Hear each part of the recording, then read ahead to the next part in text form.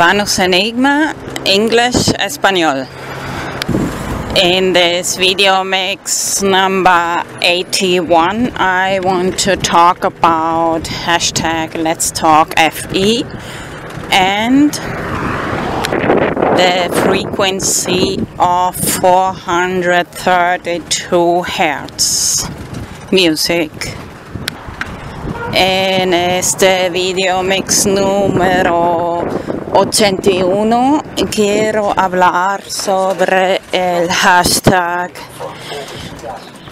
Let's Talk FE y sobre frecuencia 432 de música.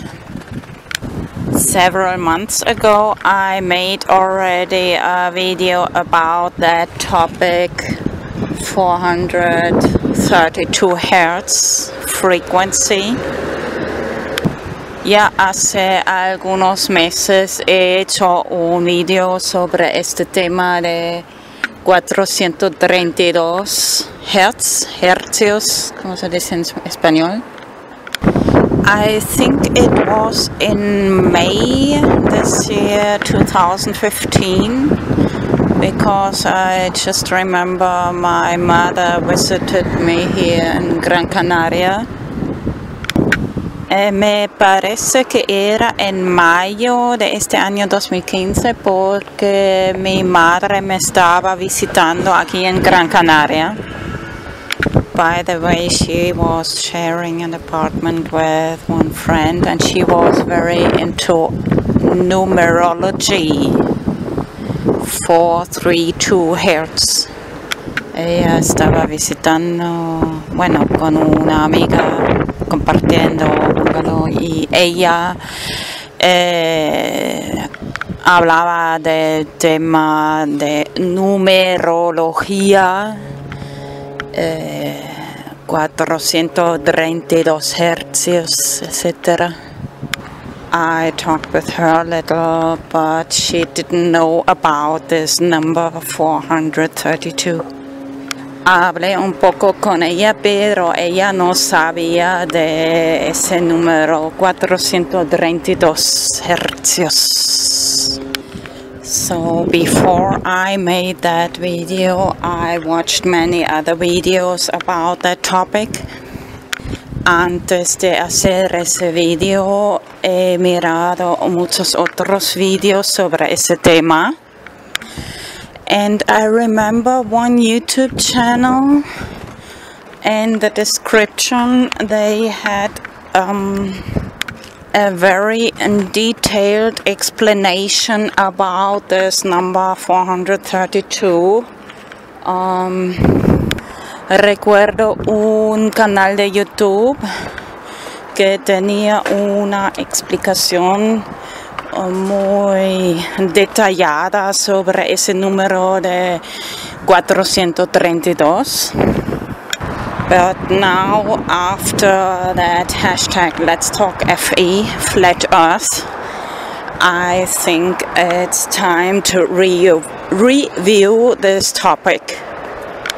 Pero uh, ahora, después de el eh, hashtag Let's Talk FE, eh, me parece que es hora de revisar ese tema de 432 hercios. Eh, perdón, se me olvidó de mencionar hashtag Let's Talk FE Tierra Plana.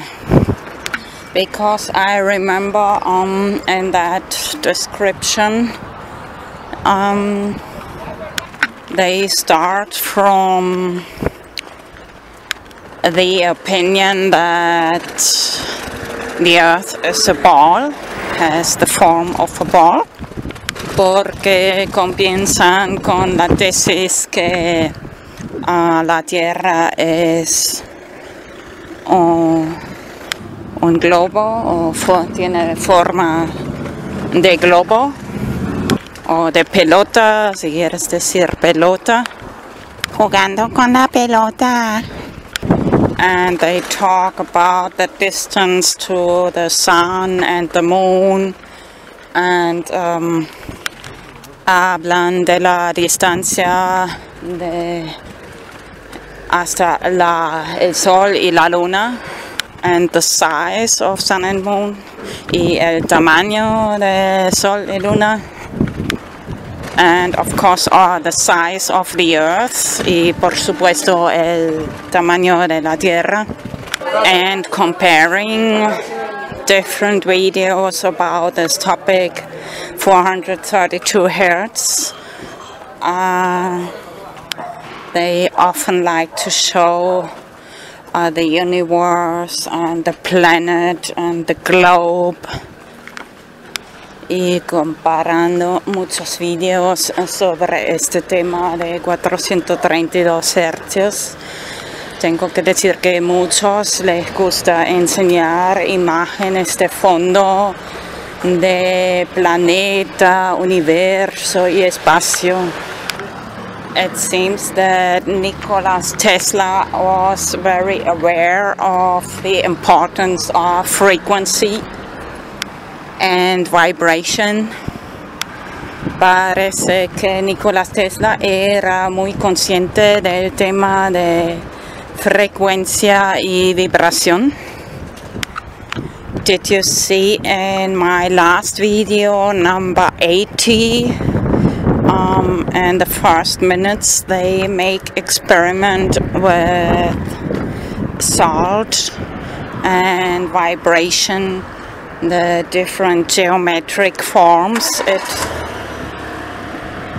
has visto en mi video último video número 80 hacen un experimento con sal y la frecuencia y formas ge geométricas que hace. So in this video I really mainly want to talk about this uh, 432 hertz but with the new eyes of hashtag let's talk FE bueno en este video quiero hablar principalmente sobre el tema de 432 hercios pero con los nuevos ojos de hashtag let's talk FE so only in the end of the video I'll paste one short video of five minutes about about this flat earth.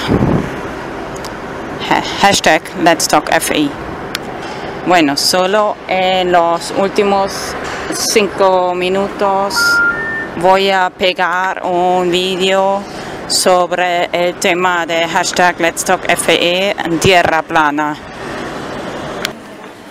Do you know what these two topics have in common?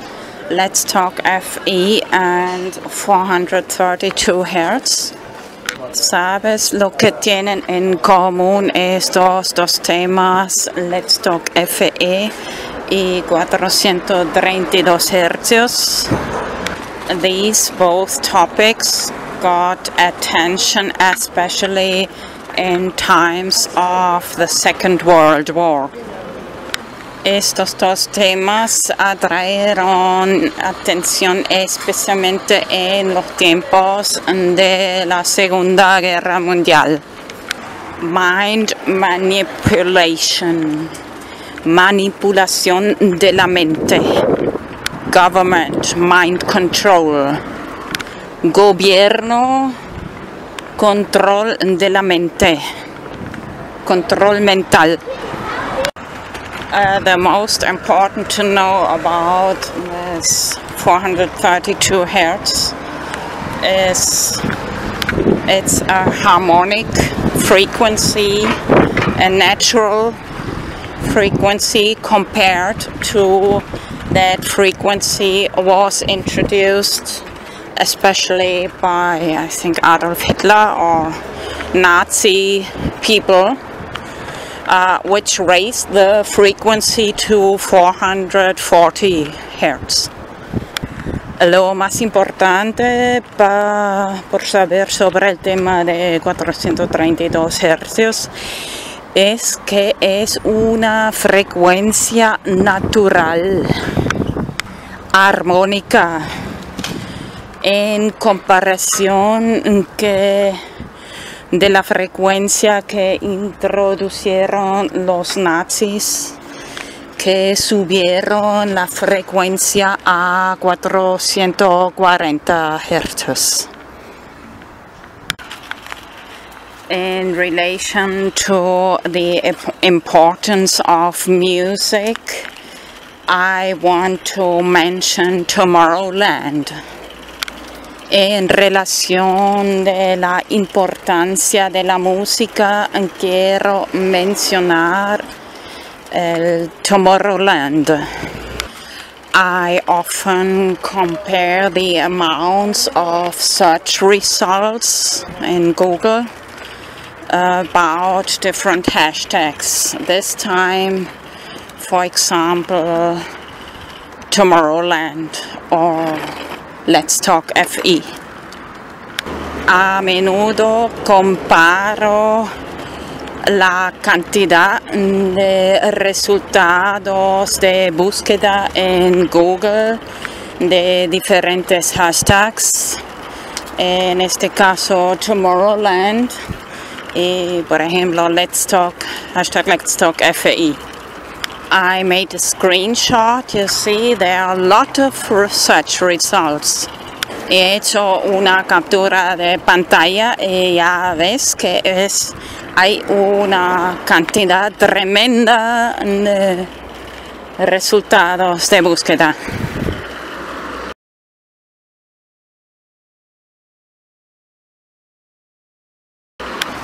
Maybe later I make another video especially about Tomorrowland but this time I really want to focus on this 432 hertz frequency.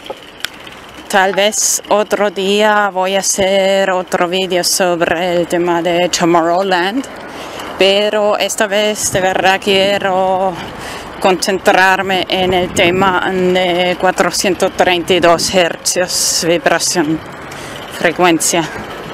For some people or some time of my life, uh, video is like, uh, sorry, music is like a drug. Now it's video for me.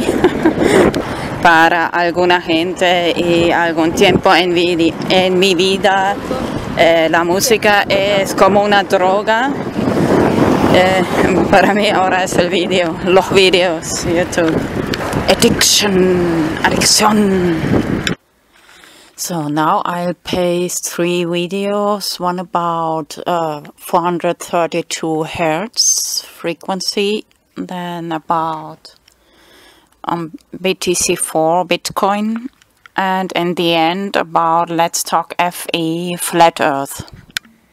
Ahora a continuación voy a pegar tres vídeos. Uno va sobre el 432 hercios frecuencia, luego el BTC4 Bitcoin y al final el hashtag Let's Talk FE de, sobre tierra plana.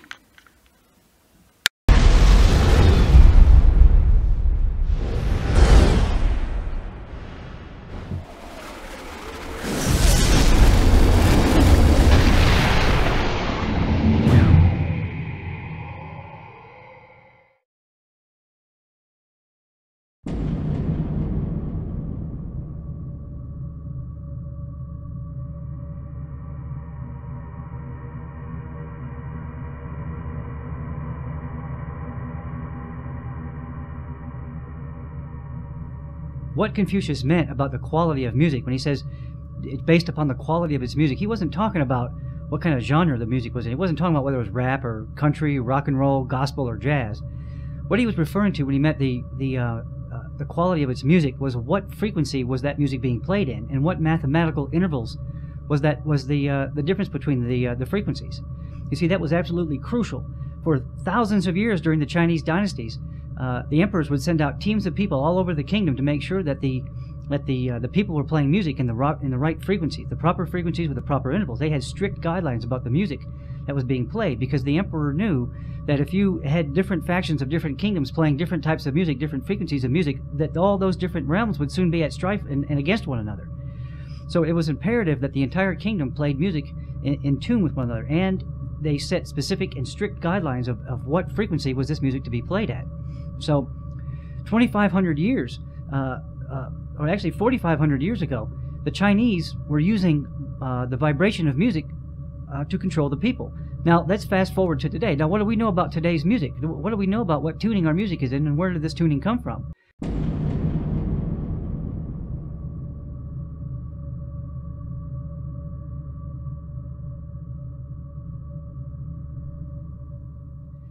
The intention of this video is to improve your knowledge of musical vibration. I mean, what do we really know about music?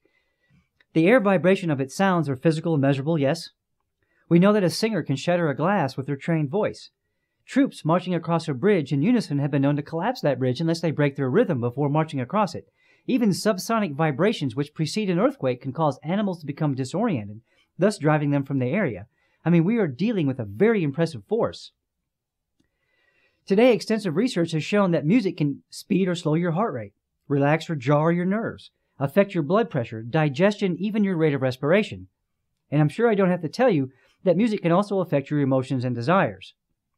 It can have a very significant influence on your mental processes and, in turn, can influence an entire society as the Chinese knew over 4,000 years ago. So, where did the frequency of today's music come from?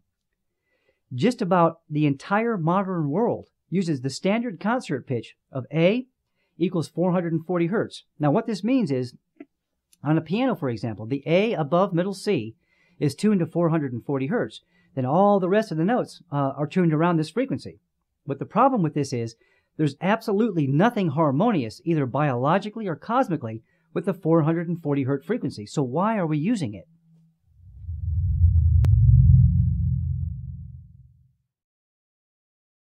In many cultures, this tone is used in connection with sacred rituals. In India, this tone is called Saja, father of others, and the sitar and tambura are tuned accordingly. In Sufism, it is said the one who knows the secret of this tone knows the mystery of the universe. The shamanic festival use of a specific series of drums, trumpets, and harps in ancient Sumeria had them all tuned to 432 Hz. The original Stradivarius violin was designed to be tuned to 432 Hz as well. The archaic Egyptian instruments that have been unearthed so far are largely tuned to 432 Hz. 432 Hz touches the full 12 scale octave overtones of all music in creation, whereas 440 Hz only touches 8 octave overtones, leaving out an entire section of the complete musical resonance of the universe. The diameter of the moon is 2,160 miles, which is 432 times 5. The diameter of the sun is 864,000 miles, which is 432,000 times 2. The precession of the zodiac equinoxes takes 25,920 years, or simply 432 times 60. Half of a day, or 12 hours, is 720 minutes, or 432,000 seconds. The harmonic 6 of the 432 is 720 hertz. There are 432 Buddha statues at Mount Meru and 72 stupas. A healthy athletic adult at rest has an average heartbeat of 60 beats per minute, so 60 times 60 minutes in an hour times 24 hours in a day equals 86,400 beats per day, which is 43,200 times 2. Now, even one of the world's largest sporting goods manufacturers produces a special series of golf balls that Tiger Woods uses that features a 432 dimple configuration. How do they come to that? Well, several decades ago, a group of engineers inputted all the various parameters of golf ball design into a computer in order to determine the optimum amount of dimples on the surface, which can effectively reduce drag and give more loft and distance to the ball. It is obvious not only to Nike, but to other leading sporting good manufacturers as well that the acoustical geometry of the 432 allows for optimal harmonic performance. So they obviously knew that the 432 was embedded in the very workings of the cosmos. For example, it takes 25,920 years for a complete precession of the equinoxes. That's one complete cycle of the zodiac. Today we are leaving the age of Pisces and entering the age of Aquarius, so there are 12 ages in one 25,920 year cycle. And if you multiply the 432 by, by 60, you get 25,920. This is an important point because 60 is the base measurement of how we count time. 60 seconds in a minute, 60 minutes in an hour, etc. It was also the base counting system for the ancient Sumerians. So, the precession of the equinoxes and the 432 literally are revealing the timing of the pulse of life. These fractal cosmic relationships are ingrained into every experience all life forms have. It is the reason behind why the builders at Mount Meru put only 432 Buddha statues. Simply, our higher consciousness is being harmonically inspired to acoustically resonate with the overall frequency of the cosmos. Now, for example, let's take one of the most infamous numbers in the Bible, the 666, which is said to be the number of man. And let's look at a quote by the ancient philosopher Pythagoras, which states, Man is two octaves below God. Now, if we go back to the 666, and what if we uh, interpret that to mean 6 times 6 times 6? If we do that, we get 216, which is half of the 432, or one octave below the 432. So if man is the 216, then the 432 would represent enlightened consciousness by the 432 Buddha statues. Then one octave above would be 864, or the level of God. So the 432 is the vibrational level we're all moving towards. So according to the ancient Christian text, the Creator spoke through the authors of the Bible, and they simply wrote the words down.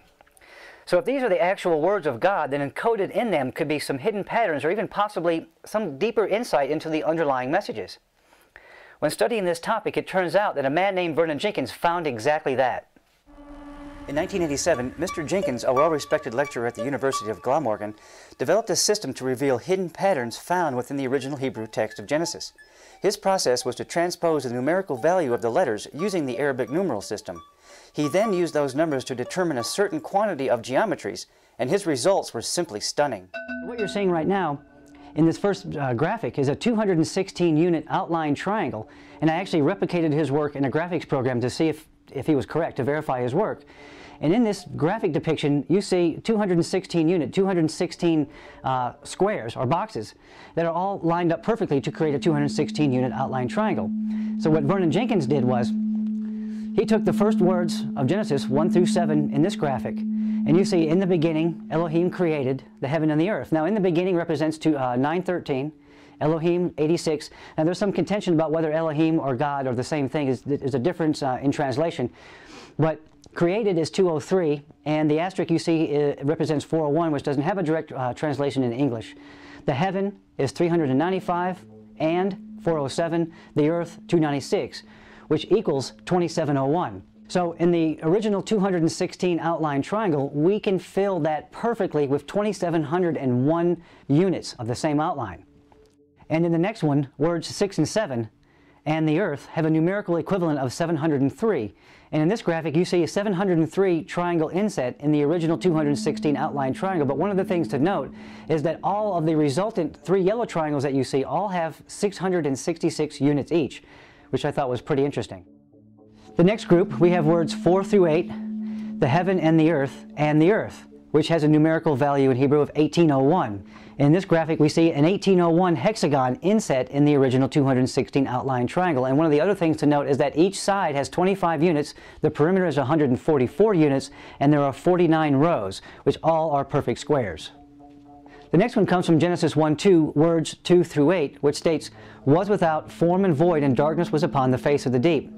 The numerical value of this is 1875, or 625 times 3, which gives us three 625 rhombus insets. Next, words 2 through 8 of Genesis 1 2, and the spirit of the Elohim moved on the face of the waters. This has a numerical equivalent of 1369 or 37 times 37. This gives us a 1369 rhombus inset, still perfectly in the 216 outline triangle. So this is hinting towards a whole new level of interrelatedness of everything within our reality.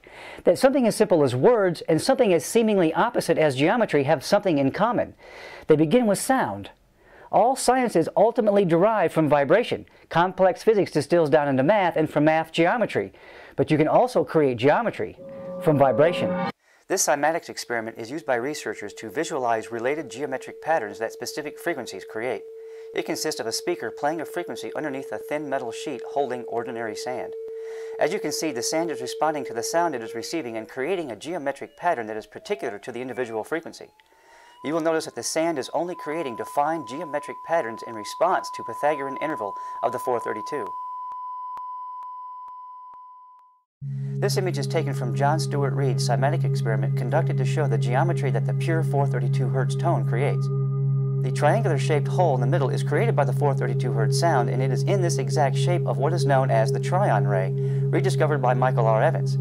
It is the smallest platonic solid that represents a single pulse of light of spirit in 3D. This three-sided shape tessellates to create all the rest of the platonic solids.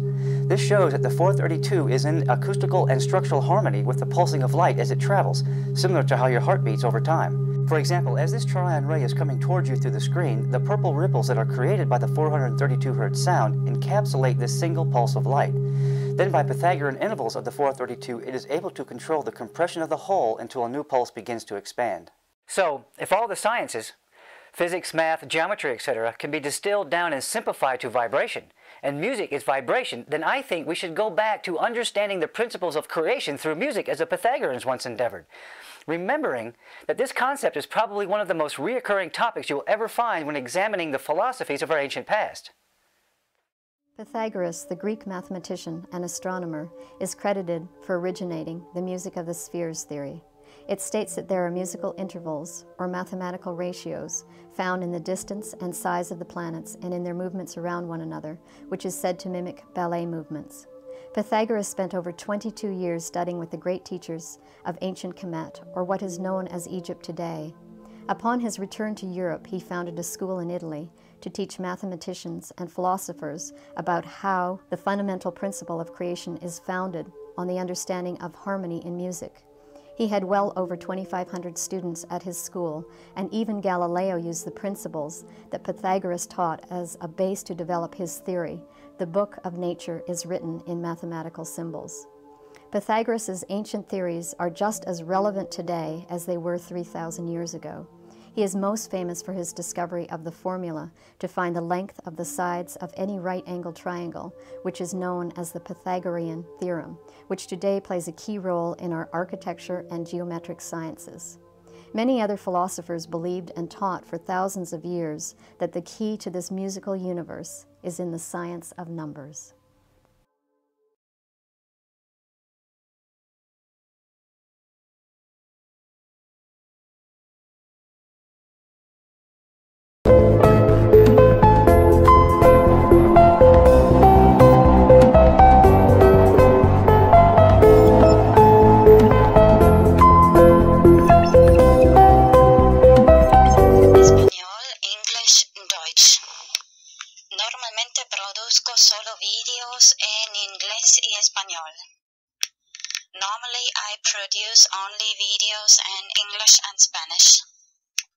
Normalerweise produziere ich nur Videos en English und Spanish.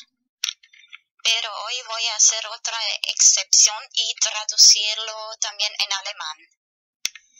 But today I make another exception and translate it into German too. Aber heute werde ich nochmal eine Ausnahme machen und es auch in Deutsch übersetzen.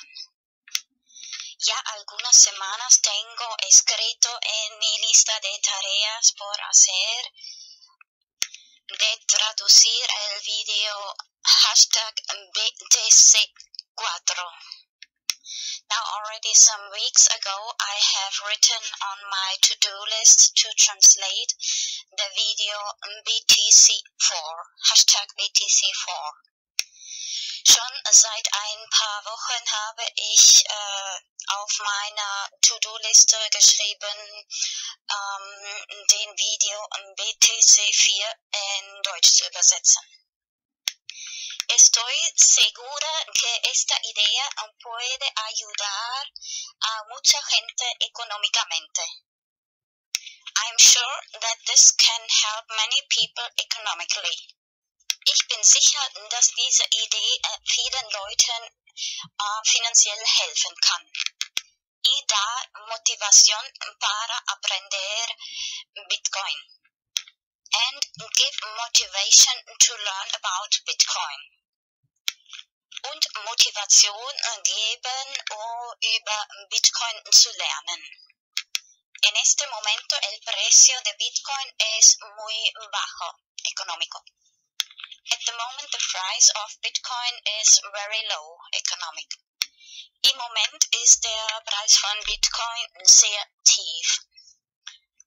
Sería el momento ideal para invertir. Hoy es el 15 de abril 2015. Would be the ideal moment to invest. Today is April 15th, 2015. Es wäre der ideale Moment zu investieren. Heute ist der 15. April 2015.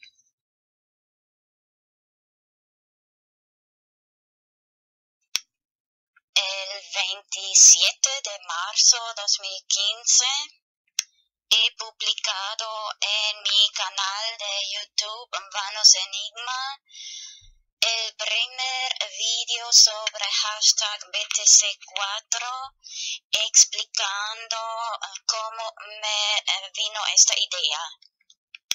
On March 27th of 2015, um, I published my fir- the first video about hashtag BTC4 in my channel YouTube Vanos Enigma, e- explaining how I got the idea. Um, Am 27. März 2015 habe ich in meinem YouTube-Channel ähm, Vanos Enigma den ersten den ersten Video über Hashtag BTC4 veröffentlicht und äh, erzählt, erklärt, wie ich diese Idee bekommen habe. La idea consiste principalmente en lo siguiente. The idea mainly consists in the following.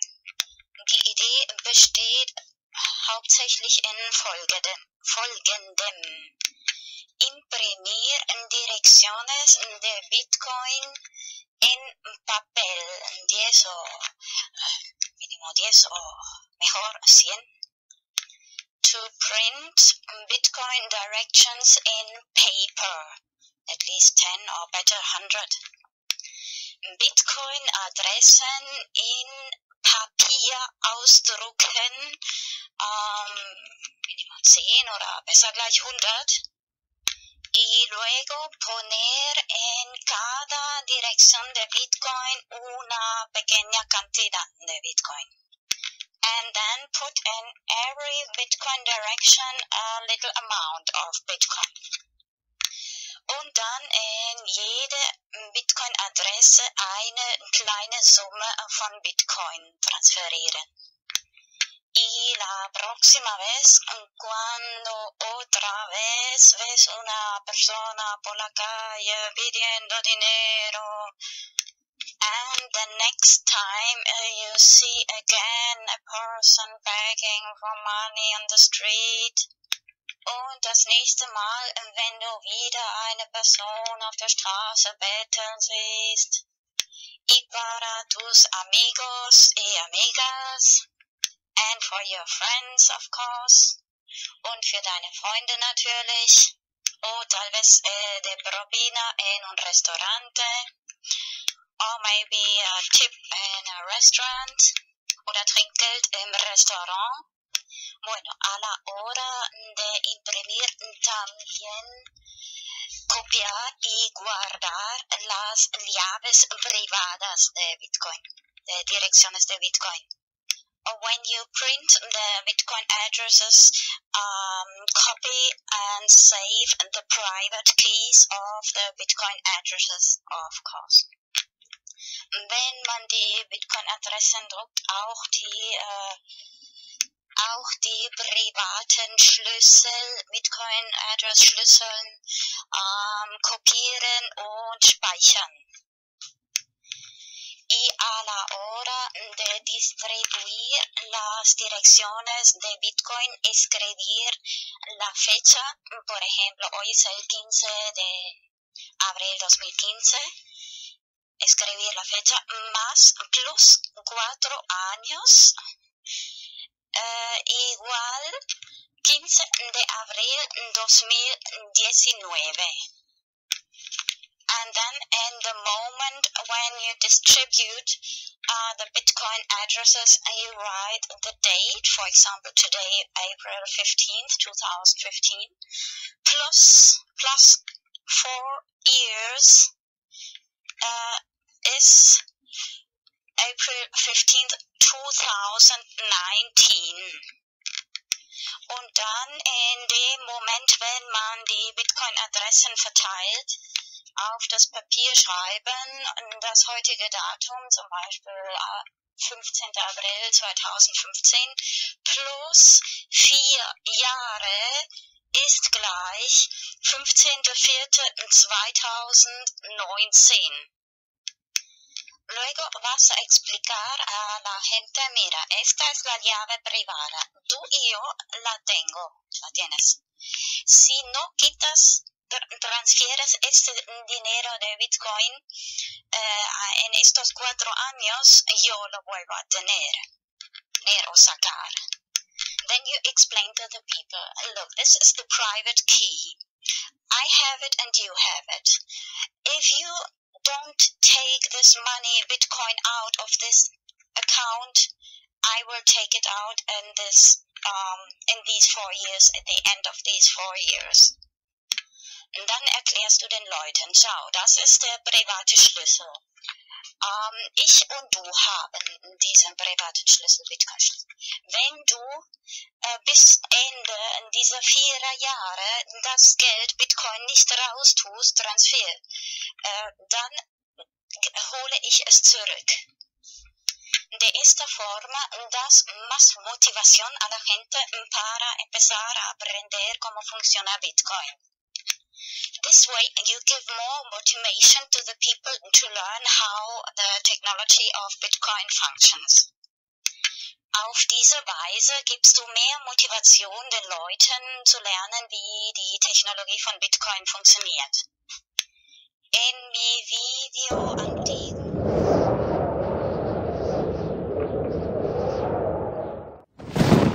I first heard this flat Earth subject, I dismissed it without even giving it a second thought. But more recently, at the beginning of 2015, I ran across a few flat Earth videos again. And while looking into the fake moon photos circulating around, I saw that people were claiming that the images from Earth from space were fake as well. Pretty soon, the flat Earth subject became viral online. And after looking at the Apollo missions one night and coming to the conclusion that they were nothing more than a huge con game, it jarred my memory about something. And for a very specific reason, I decided to look deeply into the flat Earth without just dismissing it blindly as so many do. Why did I look into it this time? Well, I do pray for knowledge and wisdom and discernment, but maybe the recent Apollo footage I watched helped. However, I live near a very large lake, Lake Ontario, and I happen to remember going to the beach as a kid and looking across the lake and seeing New York State coast off in the distance. I never ever thought anything about it ever, except I remember it being there when I went to the beach. Now, I've been to that beach a hundred times over the years. And once this topic gained more prominence in early 2015, the first video I saw explained the curvature of the Earth and what it's supposed to be in inches per mile. And it resonated with me because I remember that I could see clear across the lake to the other coast, something that broke all the sphere Earth rules. So, with NASA fakery on my mind and the memory of seeing this coastline that supposedly was too far below the horizon for me to be able to see it due to the curvature of the Earth, I re examined the flat Earth theory. And as unbelievable as it seems, it started to make a lot of sense, especially since I did distinctly remember being able to see that far coast basically anytime I was at my local beach. And as I've said, I've been there hundreds of times over the years.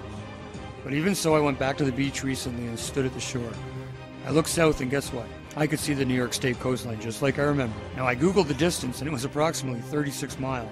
I learned what the curvature of the Earth is supposed to be exactly at that distance, and according to the people that believe in the sphere, I found out that the coast should have been buried below my ability to see it by almost 900 feet. That part of the New York State coast had a top elevation of less than 300 feet. So that left at least a huge 600 foot discrepancy, and even more because I could see some of the height of the far shore.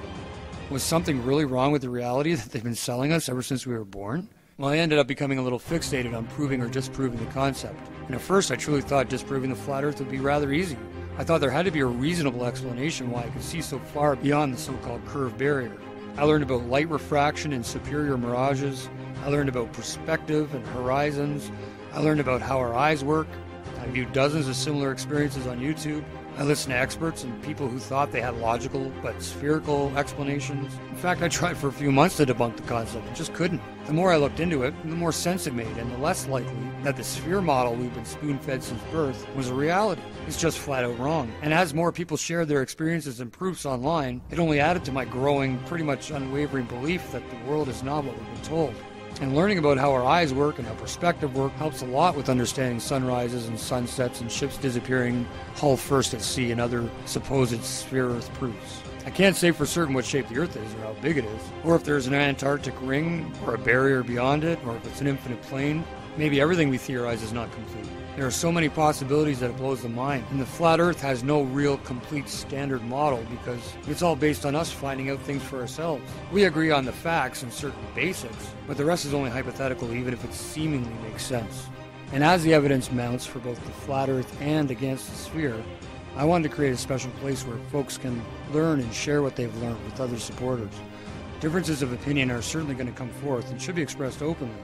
But remember that the goal of my videos and their corresponding threads is to provide the opportunity to use each of us to learn and grow in any area that any of us has a problem in. If there is a thing you can't understand, then ask. Someone will have an opinion and we can go from there. If you have a point to make against what is considered an accepted flat earth fact, please provide any relevant links or supporting proofs or videos. I am currently under the impression that the entire space program, even low Earth orbit, and all that is there, is really just a sleight of hand trick by a group of illusionists that have swindled the public, the governments of the world, the media, and us into believing a lie. Everybody, a small group of corporations and cabals have almost complete control over the entire financial, educational, high level governmental, and media systems, leaving it up to real armchair scientists and normal people that can critically think and recreate experiments themselves to independently prove or disprove any accepted line of thought about our reality. Look, I ain't the smartest man on the flat earth, but I ain't no dummy. I'm educated, and I never ever questioned or ever thought of an alternative to a sphere Earth until this year. It never entered my mind to question this part of our reality at all, ever. But now I question everything. I'm a Christian, and I think I see the big picture. Thanks, thanks for watching my video. If you'd like to see more proof against the heliocentric model and proof against the sphere, then make sure to subscribe to my channel. And if there's anything you disagree with, make sure you leave a note below explaining exactly why. Remember, folks, follow the golden rule God loves you. We'll talk soon.